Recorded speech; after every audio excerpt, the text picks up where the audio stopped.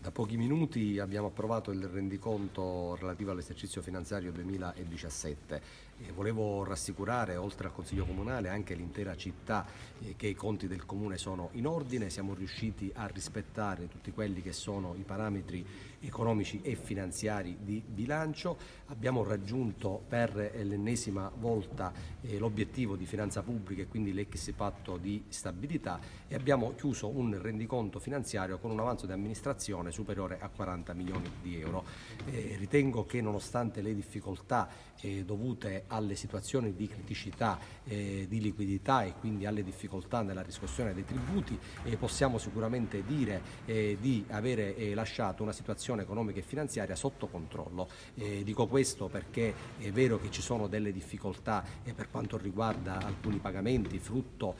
della,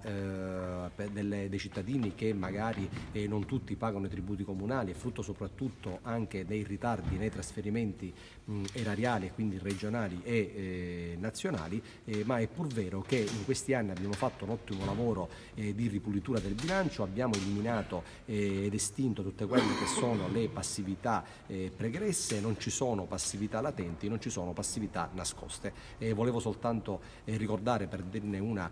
su tutte che in questi dieci anni di amministrazione Cristaldi sono stati stati pagati più di 30 milioni di euro per, tra quota capitale e quota interessi per mutui che sono stati ereditati dalle precedenti amministrazioni eh, senza che eh, contro e a fronte di questi mutui ci siano stati degli investimenti proprio perché mutui e debiti pregressi e quindi provenienti dalle vecchie amministrazioni. Eh, dico questo perché abbiamo sicuramente e dobbiamo migliorare sotto l'aspetto di quello che è la riscossione dei tributi, sotto l'aspetto di quello che sono le risorse disponibili per far fronte alle imprese, ma abbiamo una situazione situazione sana da questo punto di vista perché abbiamo soltanto eh, quei debiti che riguardano la competenza 2018 e che sicuramente con l'ingente importo dei residui attivi che sono stati rideterminati e con tutte le azioni che stiamo mettendo in campo per la riscossione dei tributi sicuramente la situazione potrà soltanto migliorare. Per cui volevo rassicurare il Consiglio Comunale della città, abbiamo fatto un ottimo lavoro e quindi confermare che i conti del Comune sono in ordine e sicuramente